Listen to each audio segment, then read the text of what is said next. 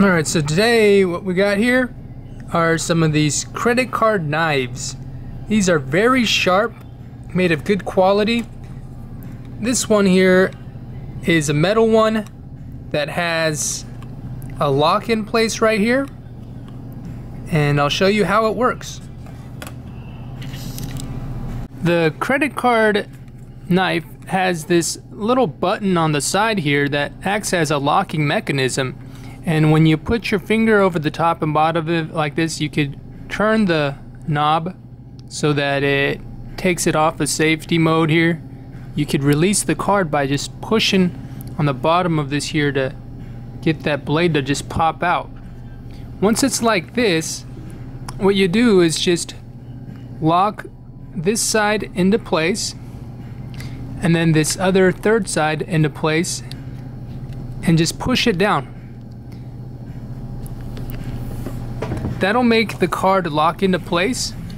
And just to show you, give you an idea of how sharp this is, this is like a cardboard piece of paper here. You see how it just slices right through it. It's good for taking on places like camping trips or you know, you could cut fruit with it, open letters with it, good paper letter opener, cut boxes with it. And it's so portable and easy to take around.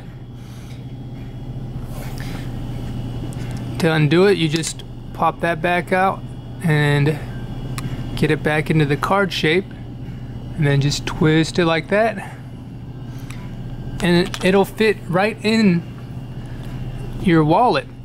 So like if you had the wallet like this, you could put it right here. Just take it with you.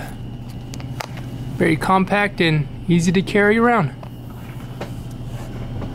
I'll leave a description of where to find these cards in the description box. Thank you for watching.